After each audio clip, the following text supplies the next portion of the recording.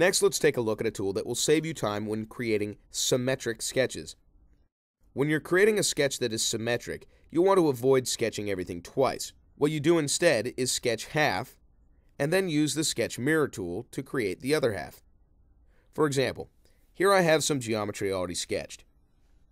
To mirror this geometry, I select the geometry I would like to mirror.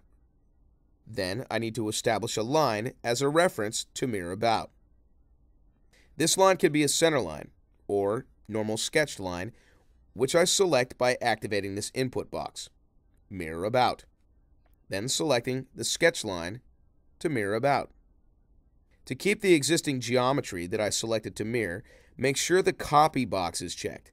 Otherwise, the original sketch geometry will be deleted after being mirrored to the other side. The mirror tool actually adds a relation that keeps the sketch symmetric. If I drag a point on one side, the corresponding point across the center line changes as well.